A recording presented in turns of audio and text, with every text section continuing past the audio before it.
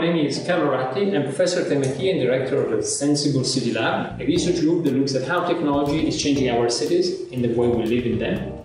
I've been asked by Expo 2015 to curate the Future Food District, a thematic area at the core of the Expo site that looks at advancement in food production, distribution, and consumption. The Future Food District is next to the Cardo Street, in between Piazza Italia and the canal, and over 9,000 square meters, it will show two pavilions, one dedicated to the supermarket, one dedicated to the home, and the piazza in between. The big challenge is to understand how the relationship between food and people will advance in the coming years. We start from the idea of the Internet of Things, exploring how over the next few years all our objects will be connected, enabling new interfaces in the interactions.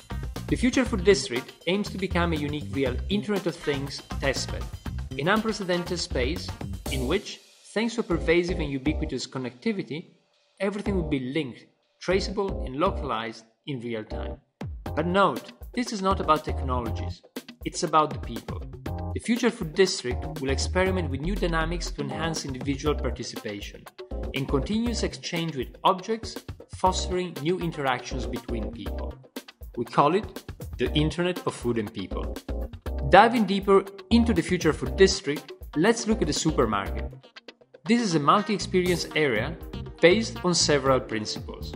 First, products we buy will inform us about their content, their production history, and movement. Products will be automatically shelved and moved, immersed in a context aware and self organized environment.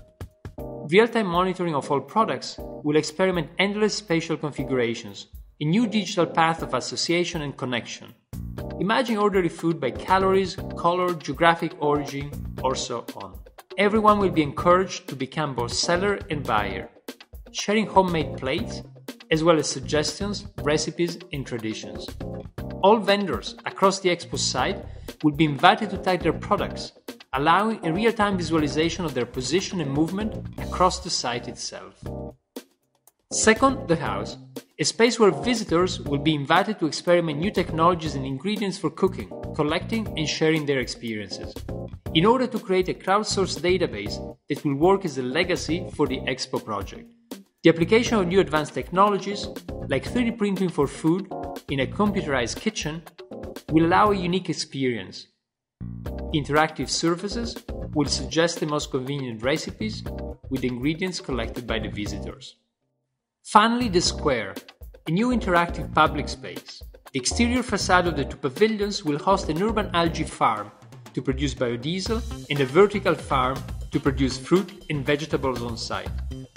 Both installations will act as 3D green surfaces that embrace the inner square, improving the microclimate within.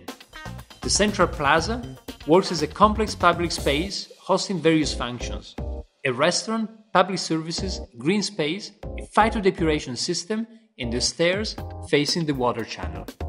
We want to make sure that Expo 2015 will be a unique testbed of ideas, leaving a legacy not only to Milan, but also to Italy, Europe, and the world.